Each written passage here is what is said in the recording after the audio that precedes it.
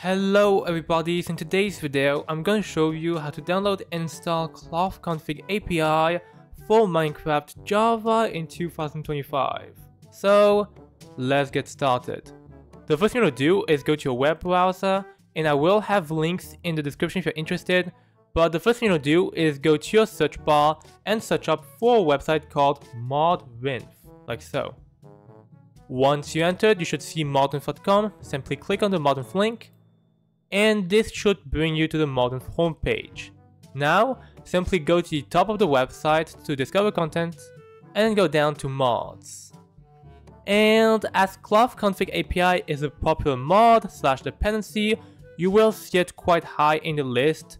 And if you don't see it, simply go to search mods and search it up here. But most cases, it will just be here. So as for me, I'm just going to click the name here. So once you found Cloth Config API, click the name. And this will bring you to the homepage for Cloth Config API on Modrinth. Now, all you want to do is go to the versions tab. And then you want to go to game versions. Here you can select what type of versions for Minecraft you want to be playing on. So here I'm going to choose the latest Minecraft version, so 1.2.4. And we have some choices here. You have NeoForge, Fabric, and on some versions you also might have Forge.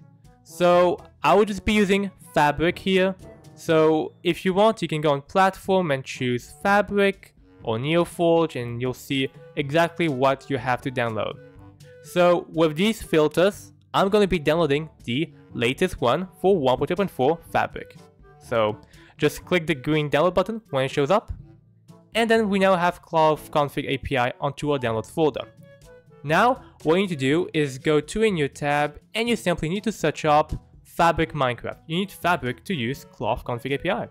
So simply look up Fabric Minecraft and once you do this, simply enter and you should see fabricmc.net. Simply click on the Fabric name here and this will bring you to the Fabric homepage.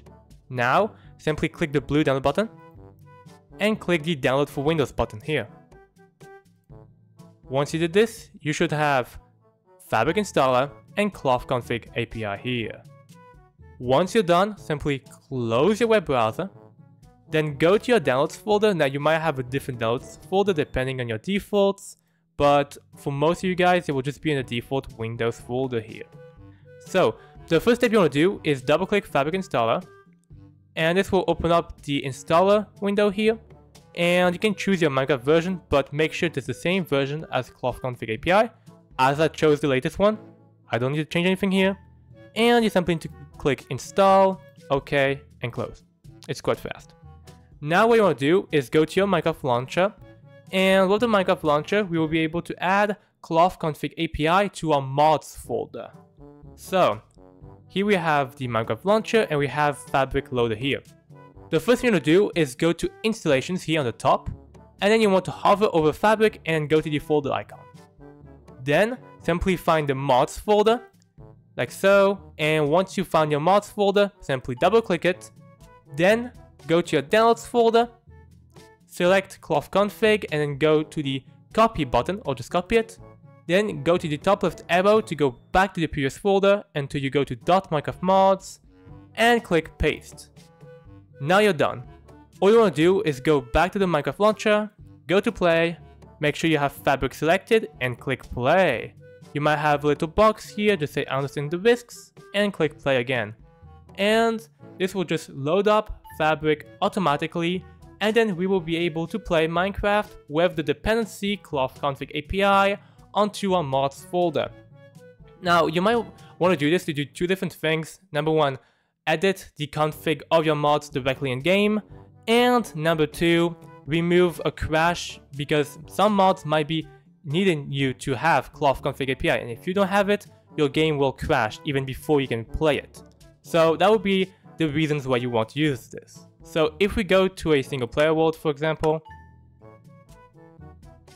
and once we are in a world, you can play Minecraft it doesn't change anything to the gameplay if you don't have any mods installed, of course, just like Fabric API for example. But yeah, that's how you get Cloth Config API on your computer. So, If you liked this video, make sure to like and subscribe and see you for the next one. Bye!